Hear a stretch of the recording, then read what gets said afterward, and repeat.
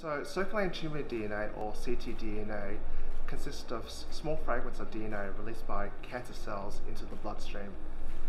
Uh, it's a very important uh, biomarker in cancer research because it enables non-invasive detection and monitoring of cancer through a simple blood test.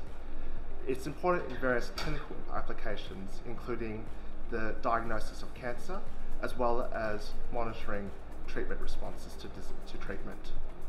It is also a very useful tool in the uh, detection of relapse, as well as guiding personalized therapy treatments. ctDNA is collected through a simple blood draw where plasma is separated from blood and then analyzed for DNA fragments. We then use specialized techniques such as PCR as well as next generation sequencing to analyze the ctDNA with high sensitivity as well as accuracy. And this enables us to detect and analyze features of the cancer such as mutations from the blood. At the Cancer Genomics Translational Research Centre, we are conducting ctDNA analysis across a variety of different cancer types. Our team is focusing on developing uh, novel uh, genomic-based technologies and innovative bioinformatics to detect and analyze ctDNA.